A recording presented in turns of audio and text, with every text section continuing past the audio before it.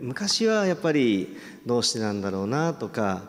嫌だなって思う時もあったんですけども今は、えー、365日24時間いつも幸せです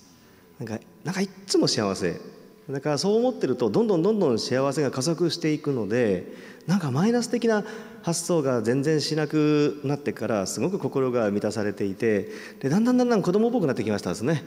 なんか子供が毎日遊んでいるような感じ？でもちろんプレッシャーのかかることストレスのかかることってやっぱりありますね。でこういうふうに、えー、千数百数百名の前でこうやってお話をさせていただくっていうことも昔はすごくストレスがかかったりプレッシャーがだったんですけども今はあ子供が遊んでんねん遊んでんねん、仙台からいろんな今日も新幹線を乗り継いできたんですけども移動が大変でもあ今自分が遊んでんねんっていうような毎日なんか遊びながら生活できているともっと幸せになってきたような気がしますね。だから毎日が幸せ。でも一つだけ何か周りの人が喜んでる姿を見るととっても幸せです。すごいこうありきたりですけれどもだんだんとそういう心境になってきました。